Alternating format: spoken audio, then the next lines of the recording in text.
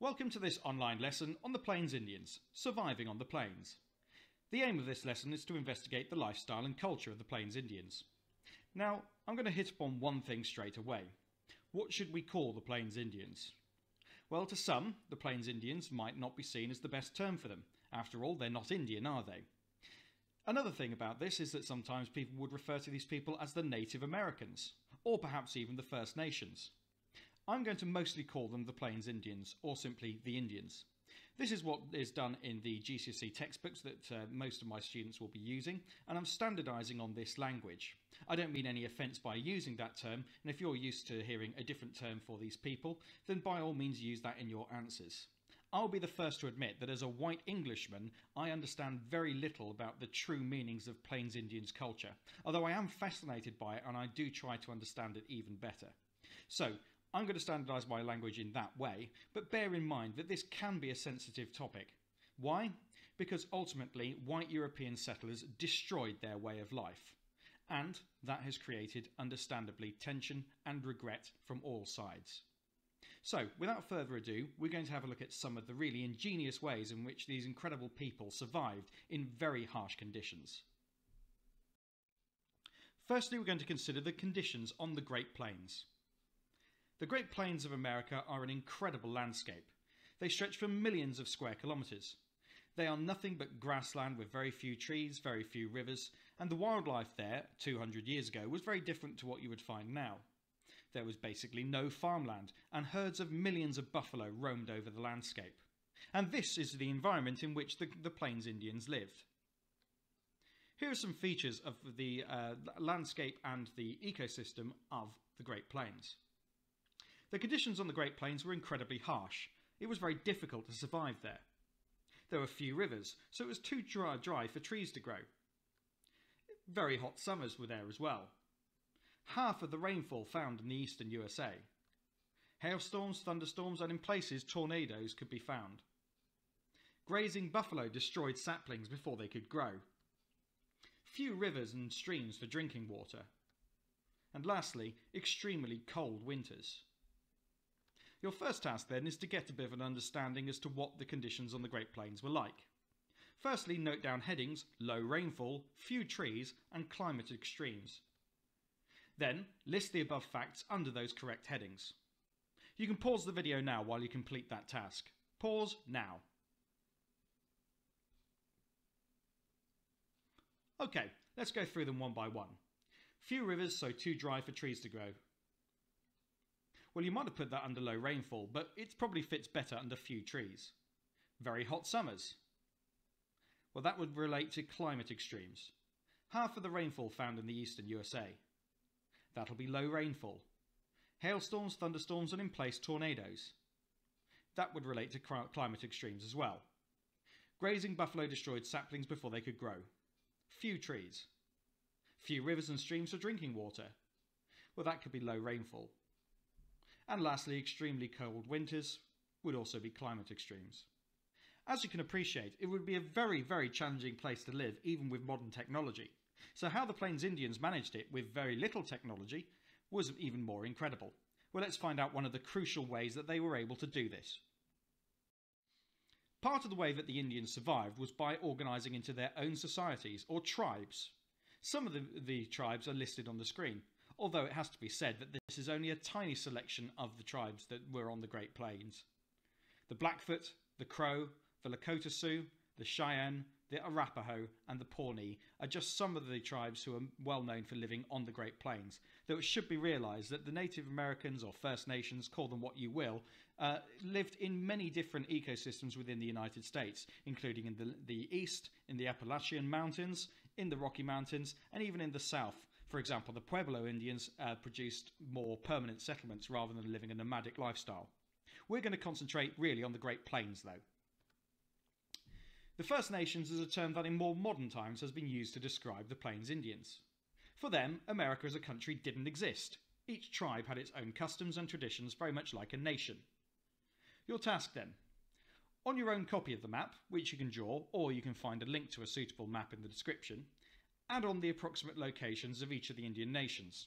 It should be recognised, though, that these were nomadic tribes that travelled, and so their borders would perhaps overlap, that could indeed lead to conflict, and they wouldn't necessarily stay in the same place. Then explain why the Indians' nomadic lifestyle means that these locations cannot be precise. Below are reasons why the Plains Indians moved west from the east of the American continent to live on the plains. Decide which factors pushed the Indians onto the plains. Explain how this factor pushed them there. This is more of a geographical skill, but it's a useful historical one too. And then which factors pulled or attracted the Indians west. Explain how. Here are the factors, and as a challenge, what survival challenges would you expect life on the Great Plains to present to the Indian nations? Consider your answers to the previous task when doing that. So, factor number one the Sioux were threatened by other tribes and settlers in the east, so they moved. Two, the settlers brought diseases like measles. The Indians lacked immunity, so they fled. It is true to say that where you lack immunity to a disease, it's even more deadly to you, and very often, very mild diseases to the Europeans who are settling in the east could be fatal to the First Nations. Thirdly, the Indians gained horses, which made the journey west possible. And the plains were largely empty, but full of buffalo to hunt. Pause the video now while you complete these tasks.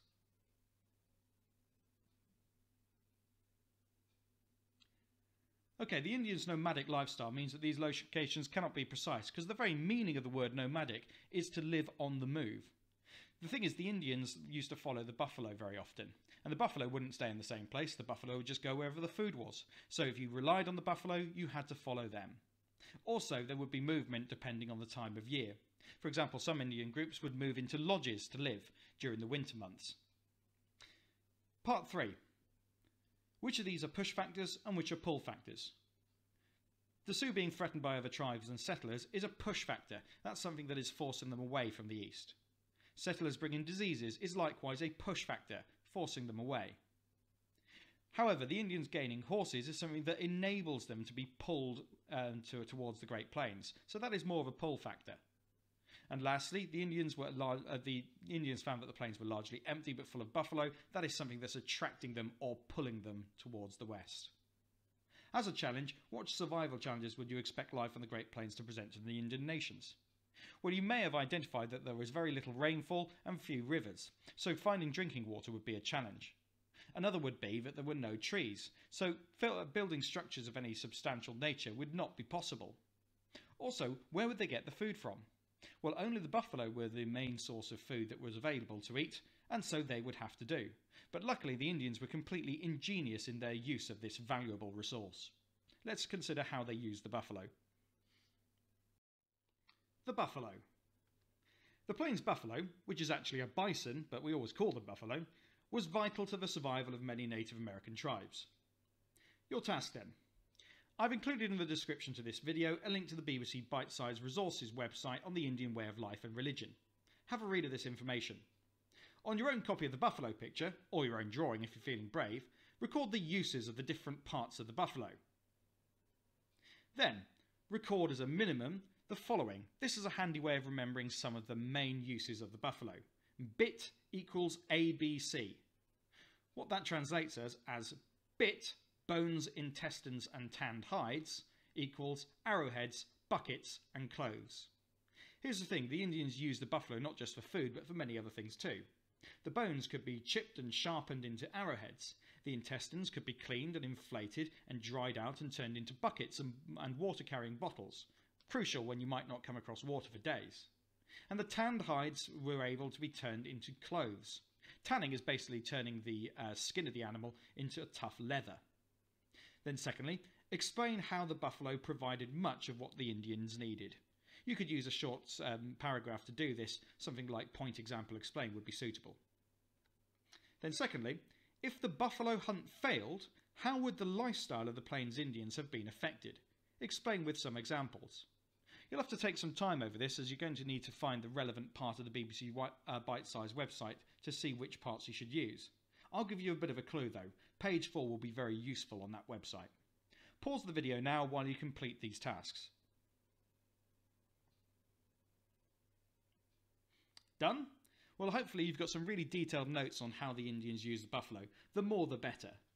So, if the buffalo hunt failed, how would the lifestyle of the Plains Indians have been affected? Well, consider this. They would very often not have enough uh, resources in order to make water carrying uh, vessels. They also wouldn't have enough food to survive, especially through the winter, if they weren't able to have buffalo meat that they could dry. And also, they wouldn't necessarily be able to make comfortable clothes to wear in the harsh and extreme temperatures and climates of the plains. So, finding the buffalo and succeeding in the hunt really was a matter of life and death. And so, Indians could gain great honour through hunting the buffalo successfully, and they would take significant risks in doing so. We're now going to consider one particular tribe, the Sioux Indians. Now, again, we run into a bit of a trick in terms of uh, the naming here. The Sioux did not call themselves the Sioux. They called themselves the Dakota, the Lakota, and a variety of other sub-tribes. However, European settlers tended to group them together into one term. We haven't got time to study all the Plains Indian nations, but we are going to focus on one for a while, the Lakota Sioux. The Sioux had a fascinating and varied culture. They were nomadic, following the buffalo across the plains. They could be warlike, especially if they felt that others were encroaching onto their territory. And they had great respect for nature the ancestors, and the Great Spirit that they called Wakan Tanka. They had their own culture, religion, language, and customs. Your first task then is to give your definition. Summarise some of this information. Who were the Lakota Sioux? Pause the video now while you do that.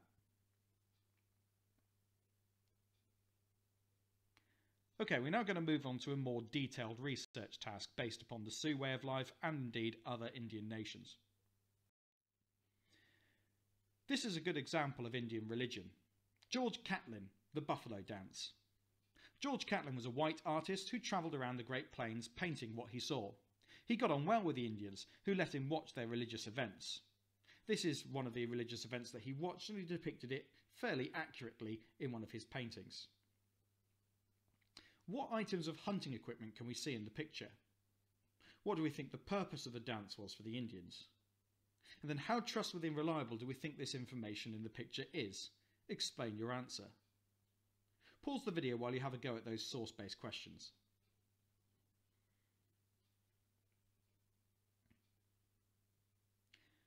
Items of hunting equipment that you may have noticed include clubs, axes, bows, and indeed spears. There are other pieces of equipment in the picture as well. You might notice that the man at the left is holding a pipe Pipes were used for smoking various substances in religious ceremonies. Another man is striking a drum. That would be crucial for keeping the beat in the dance. You'll notice too that these people are dressed in, uh, in clothes that suggest that they are acting like the buffalo in some way. So it's almost a religious or almost theatrical reenactment of the buffalo hunt itself. So, what do we think the purpose of the dance was for the Indians?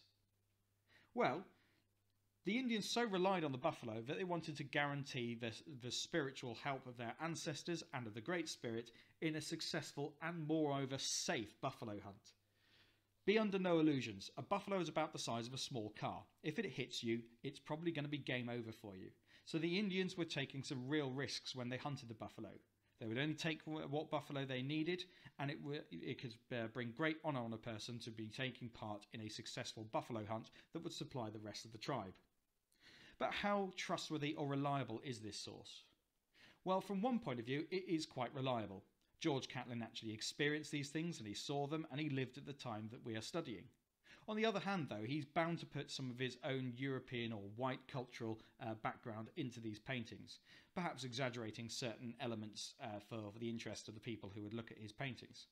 For the most part, though, George Catlin had a good relationship with the Indians, and so his paintings provide us with a valuable source to understand their culture. Research task for Lakota Sioux.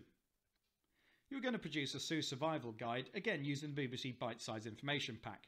You could produce this as a booklet by folding in half a couple of pieces of A4 paper, or if you're not unsure as to whether that will give you enough space, you could just do it in an exercise book or indeed on a Word document. Page 1. This should have survival on the plains. Include three explained facts, at least one about the hunting of the buffalo. So what you're really looking for here is three developed paragraphs about how the Sioux were able to survive on the plains. Page 2 should be about the teepee. How was the teepee constructed? How was the teepee practical and comfortable? And did the teepee have any disadvantages for the Indians who lived in them? Page 3a is on warfare. How did the Sioux fight? Find out the meaning of terms scalping and counting coup. The first one's a bit yucky, so be aware of that. Who did the Sioux fight and why? Page 3b, religion. What was the Sundance? Who or what did the Sioux worship? Who were the medicine men? And any other facts about Sioux religion that you find uh, important. Lastly, and as an extension, white settlers had very different views of the Sioux. For each section, explain what a white settler might have thought of the Sioux culture. It wasn't usually very positive. George Catlin, who we've already studied, was unusually enlightened as a white settler. Most were highly critical of the Indian way of life. And yet, the fact that they survived at all shows that their way of life really worked for them. This task will take you quite a bit longer, maybe as long as an hour, so give it the proper time for reading and creation that it, that it should expect. It'll also be the last main task apart from the exam practice, which we'll be doing on the following slides. So for now, pause the video while you complete this task.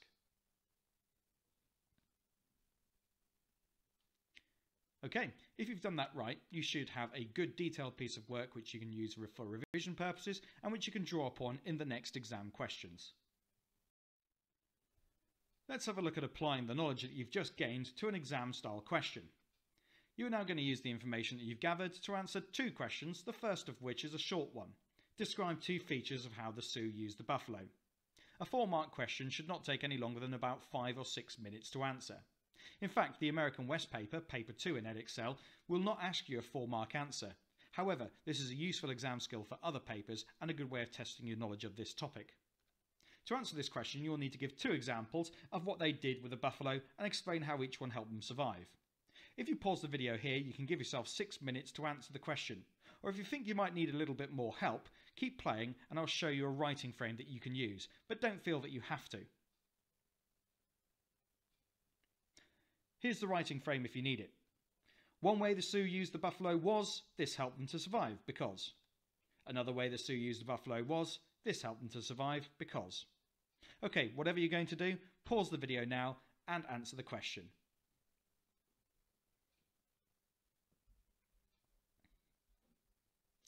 Right, let's have a look at an example answer and see how you got on. Here's that question again. Describe two features of how the Sioux used the buffalo. One way the Sioux used the buffalo was as food. This helped them survive because buffalo meat could be dried into pemmican and eaten over the winter. So I've got one mark for mentioning that the buffalo were used as food and another mark for giving more detail as to how they were used as food. Two marks so far. Another way the Sioux used the buffalo was for clothing. This helped them to survive because the buffalo hide produced hard wearing clothing to survive the harsh climate of the plains. Again, that's another mark for identifying the use of clothing and another mark for identifying why that was so vital in the harsh climate of the plains. So four marks in total. You can pause the video in a moment and check your own answer and make any improvements that you need to. But if you've included a similar level of detail and two separate examples, then you can consider yourself to have got four marks. So why not write that in the margin and give yourself a pat on the back. Mark your own work now and press pause.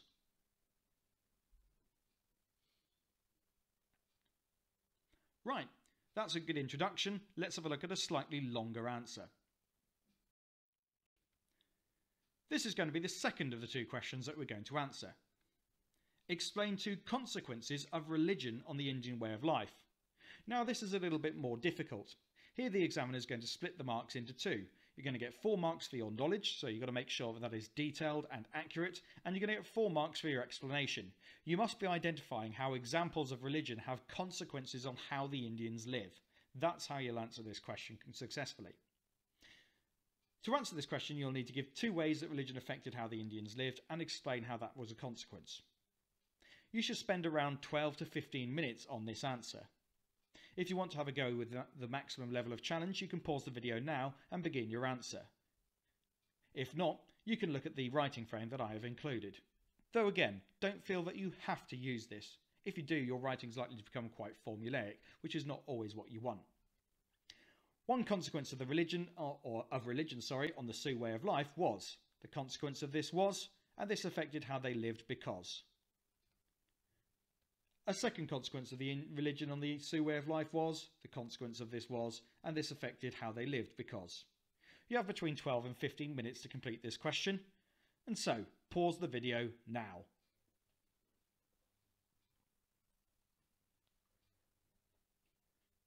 Hopefully you found that a little bit more difficult. If you did, then you've probably put the necessary detail in because you were really trying.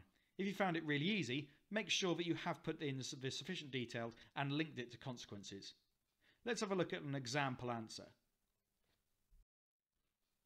Explain two consequences of religion on the Indian way of life. One consequence of religion on the Sioux way of life was their respect for nature. A consequence of this was that they did not waste the resources they used. For example, the Indians used all parts of the buffalo and would leave offerings for the Great Spirit. This has affected their way of life, as the buffalo were able to provide most of what the Indians needed to survive. A second consequence of religion on the Sioux way of life was the use of dances. A consequence of this was the use of different dances for different important aspects of Indian life. For example, the buffalo dance was believed to bring success in the hunt. This affected how they lived because it meant that religion was tied up in all aspects of how the Sioux lived, and it was something that could unite the tribe. Okay, you might want to pause the video here and make some improvements to your own answer and try and make sure it's of similar detail and accuracy to my own. If you want to make some improvements to your answer now and have a go at marking it, remember there are four marks for knowledge and four marks for your explanation in terms of linking it to the effects on the Indians' way of life as a consequence of religion. Pause the video now.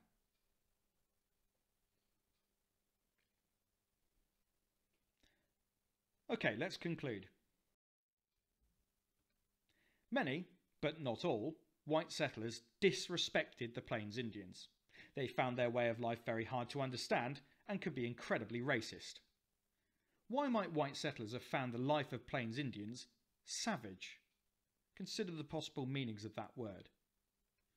Secondly, why is it not fair to call the Plains Indians savage? Explain with an example of their lifestyle. Once you've completed these tasks, I hope that you'll consider this lesson concluded, and by all means go back and review any things that have not been clear. If it's been useful, please give this video a like and consider subscribing to this channel, where there'll be lots of other resources on a variety of different topics. Thanks very much for watching, and goodbye.